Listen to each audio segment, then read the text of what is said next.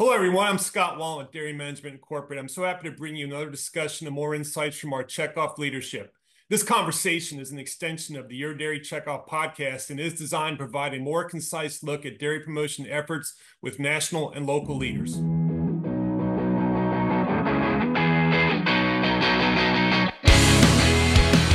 Today, I'm joined by Tim Stubbs, my colleague at Dairy Management Incorporated. Tim serves as Senior Vice President of Food Safety and Product Research. Tim, how you doing today? Great. Thanks for having me, Scott. You know, I'm so excited to talk to you about uh, food safety. I know this is right in your wheelhouse, and it's a subject that the dairy checkoff takes very seriously and, and, should be very important to our dairy farmers He may not think about it as much as you do. So let's start with that question right there.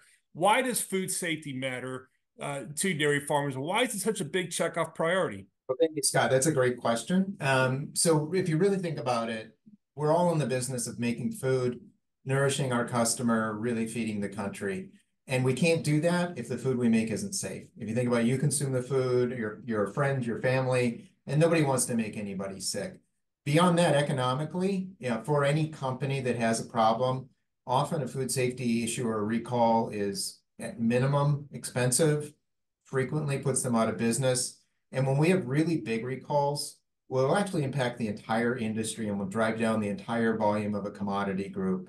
Uh, back in 2011, there was a cantaloupe recall. I don't know if most people remember it or not, but it was literally a 40% decline in cantaloupe volumes for over a year.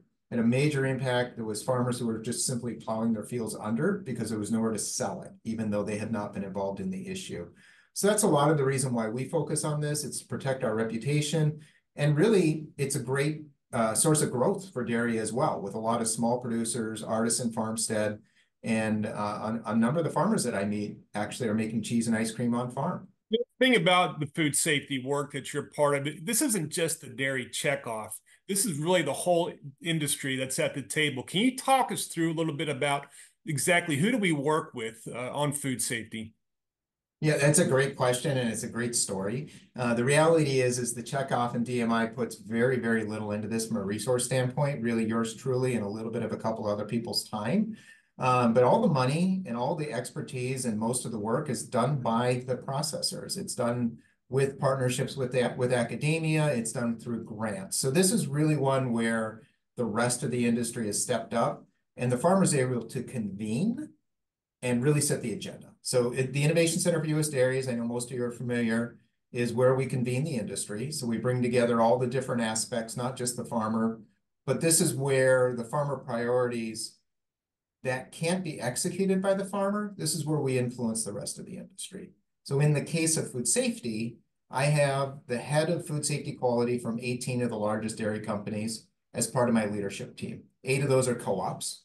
Um, a couple of those are private companies. And then in addition, I have a couple of dairy farmer board members, one who makes cheese, one who makes ice cream. They're there for advice to make sure what we're doing is applicable to the really small guys and I got to tell you, like the head of quality, the executive vice president global from some of these companies is just jazzed to sit with a small cheesemaker and hear his perspective and understand how things are really working at his level.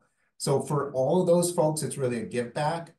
They literally are giving their time and their money. They're paying for their own travel. They're usually hosting and sponsoring our work so that we don't have to put any checkoff funds into it. And then behind that 20 people, there's 120 volunteers. So this is people who own small ice cream companies, people who own small cheese companies. It's academics, it's graduate students, and lots and lots and lots of the middle tier in the processors. So the director of quality over two or three plants for Dairy Farmers of America or Land O'Lakes or Hill or Hilmar, Schreiber, Leprino, really all the big dairy companies that you know, we have volunteers who work on this with us. It's so great to see companies large and small unite over food safety because I think I know I've heard heard you say this before that a, that an issue for one company is an issue for the whole industry. So really good to see everybody kind of come together and rally um, and, and, support one another that way. You know, last thing I want to ask you is obviously your group has come together and created a lot of resources. Can you yeah. just walk through what some of those resources are and where can people find them?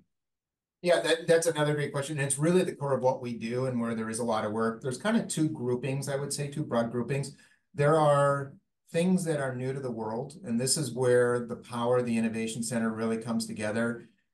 There are things that some people know a good answer, other people know a different good answer, and what we do is we get them all together and we work through, and we call that best practice sharing. And sometimes the big companies know and the small companies don't, but frequently it's a how do you do this? How do you do this? And then at the end of the day, we'll get a group together and we'll do a webinar on it. We'll write it up. We'll put it into one of our guidance documents. So our most recent January was best practices for keeping foreign materials out of your product. So how do I make sure there's not, you know, bits of plastic in my cheese? Um, amazing things come come out and it's amazing to me to amazing for me to see somebody who's been an expert who's world recognized go never thought of that that's really good i'm going to go back home and i'm going to implement it so we have multi-day workshops we have a 150 page guidance document we got some pretty deep stuff in that class i think more importantly what we've done is we've said okay, you guys pretty much know this. You know how to clean a plant. You know how to do monitoring to understand the plant is clean. You know how to do the micro work. Let's teach everybody else. There's a whole suite of tools available. Um, we use usdairy.com backslash food safety. There is an artisan section within that, which is really aimed at the smaller producers, and that's usdairy.com backslash artisan. And uh, within that, you will find we have two curated websites aimed at small producers. We have safeicecream.org and we have makesafecheese.org.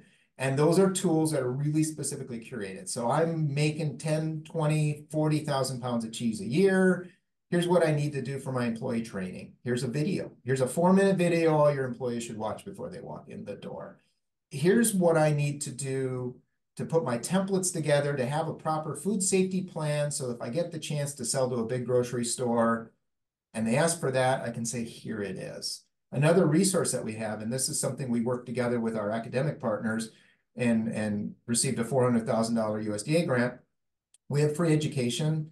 We have biweekly office hours. If you want to understand how to control your allergens, you just jump on that one. These are done through Cornell.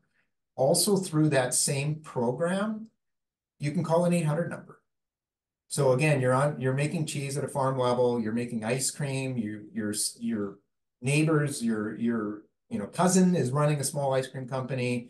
Um, and that's what I find a lot. I find that there's a lot of farm families where part of the family is running the dairy farm, but two of the siblings have gone off and started an ice cream company and it's become a multi-state regional player.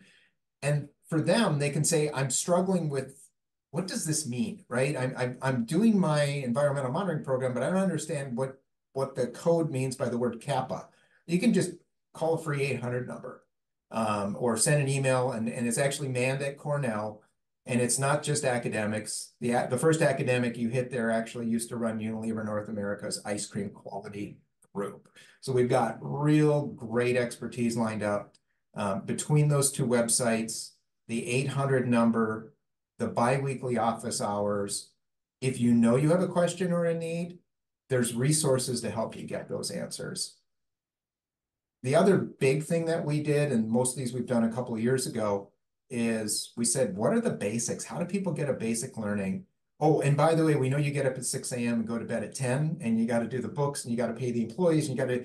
So we've created online food safety education courses you can take them at your own speed. You can take one module, go away, come back a week later, take another module. Those are hosted through North Carolina State University. They were done by the Innovation Center.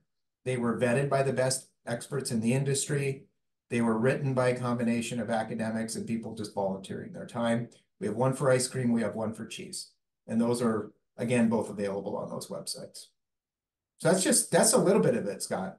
Yeah, it's amazing what all is there available, not just to the to the large and small players of the industry, but the, again, like you said, for those dairy farmers that might want to get involved in some uh, production of cheese, ice cream, or, or milk.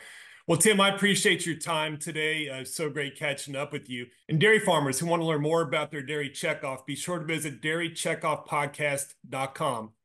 Thanks a lot, Tim. Thanks, Scott.